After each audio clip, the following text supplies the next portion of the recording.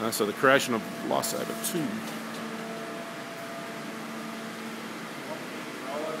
Larger handrails. The uh, top fin comes off when we uh, go to build it. Similar engine to Lifesaver 3 going in. Slightly modified uh, Samson post at the back with a bit more access. The uh, scuppers will still be cut out a bit more. You notice there's no door.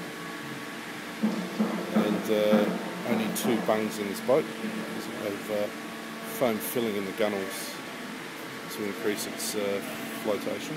Uh, as you can see there's three hatches in the front of this one. And the, uh, you can see the uh, cable hatches or the cable tubing coming down the, the top right there. You can see the little hole sort of come down underneath and then punch through into the side of the uh, engine bay through another one of those holes. It's got Lifesaver 1's hull with Lifesaver 3's upper body. It should give it a lot softer ride.